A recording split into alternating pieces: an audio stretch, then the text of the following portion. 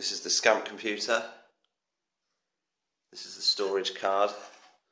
The lights won't work because the thing that this wire is supposed to connect to is broken off.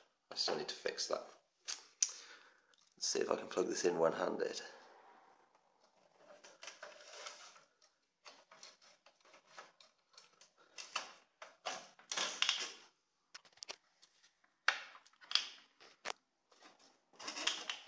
No is the answer. Okay, so from the serial card, we have these wires leading to this, which is the VGA serial terminal from the RC 2014. Um, I've also got a power supply down here and a keyboard and screen plugged into the serial terminal. I'll just plug it in.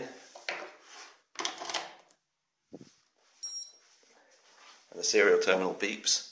And then just in here, I've got a reset button. And it's booting up. Cool.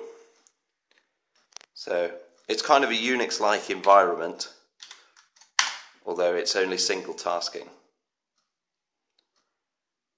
It's pretty slow, but it's getting faster all the time. It's still running at 1 megahertz. And I thought we'd try and write Hello World.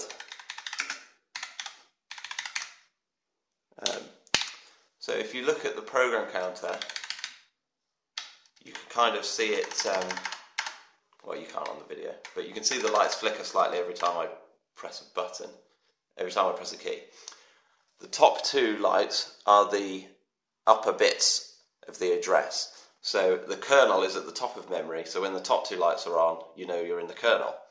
Um, the text editor, which I'm about to start, is an interesting program because it doesn't use the kernel for the keyboard in keyboard I/O. So I can type, and it never touches the kernel. The reason for this is that um, the kernel's too slow, really. Okay, so I'll just write little Hello World program with one hand.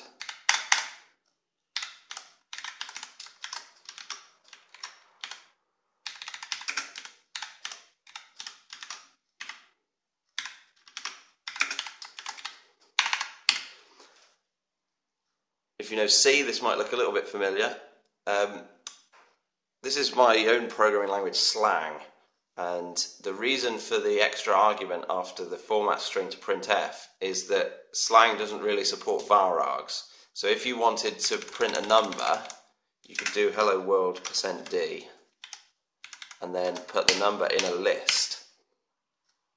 But we don't actually need a list of arguments to format, so we just put zero.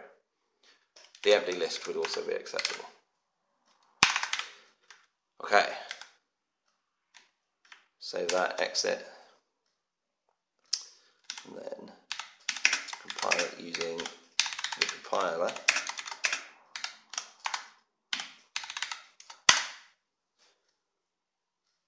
It's busy working. You can see a lot of time is spent in the kernel because it's mainly I.O. bound.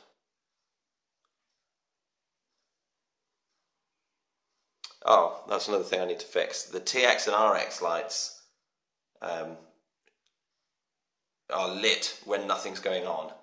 So I just need to invert those really. Compiler's still going.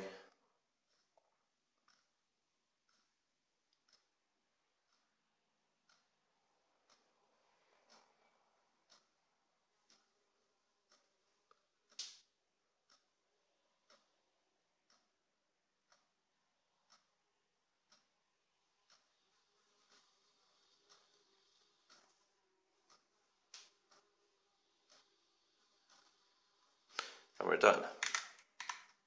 So we can see that our directory contains the source code we wrote and the program we compiled. We can run it. Hello world, indeed. Um, Great, thanks for watching.